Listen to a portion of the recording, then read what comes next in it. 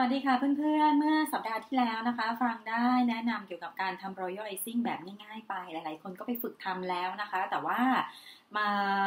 ถามมาทางอีเมลว่าจะน่าจะเริ่มต้นว่าจากลายไหนดีนะคะ อันนี้ให้ถ้าเกิดว่าให้ฟังแนะนำนะคะ ใครก็ตามที่จะเริ่มต้นที่จะทำคุกกี้ไอซิ่งขายนะคะ เริ่มต้นจากลายง่าย ๆ ก่อนเลย จะเป็นลายพื้นๆหรือว่าเป็นลายจุด ลายขีดนะคะ แล้วก็อีกลายหนึ่งที่ขายดีเดี๋ยวฟังจะสาธิตให้ดูนะคะ นั่นก็คือลายที่เป็นลายดอกไม้ค่ะ ตัวนี้เนี่ยขายได้ทุกเทศกาลทุกช่วงเวลาเลย แล้วก็ทำง่ายอีกด้วยนะคะ ลายดอกไม้ที่ฟังจะแนะนำก็จะเป็นลายนี้ค่ะ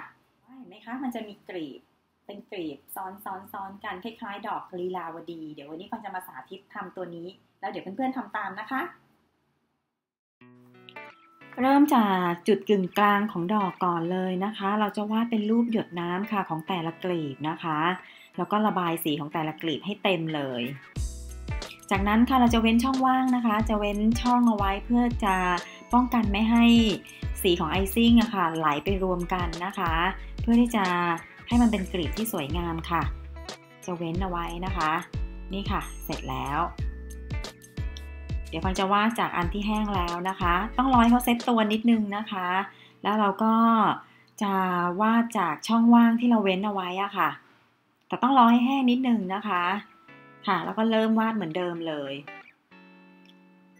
เติมสีให้เต็มในแต่ละช่องว่างนะคะ เป็นกลีบของแต่ละกลีบค่ะ ไม่ต้องไม่ต้องสนใจนะคะว่ากลีบจะเท่ากันหรือเปล่าตรงนี้เนี่ยมันก็เหมือนธรรมชาติของดอกไม้อะค่ะ จะหงิกงองอบ้างตรงนี้ก็ไม่เป็นไรนะคะ จะได้เหมือนธรรมชาติ ค่ะเติมให้เต็มทุกๆกลีบเลยนะคะ แล้วก็ ทิ้งให้เขาเซ็ตตัวนิดนึงนะคะ ก่อนที่เราจะเติมเกสร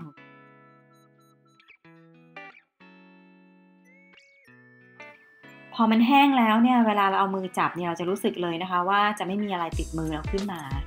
ตรงนี้เนี่ยเราก็เติมเกสรได้เลย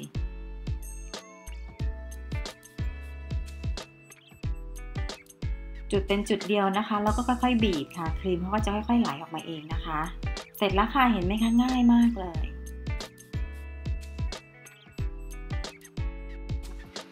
เห็นไหมคะว่าทำง่ายมากๆเลยค่ะ ใช้เวลาเพียงไม่นานเพื่อนๆก็สามารถที่จะทำลายดอกไม้แบบนี้ได้แล้วนะคะ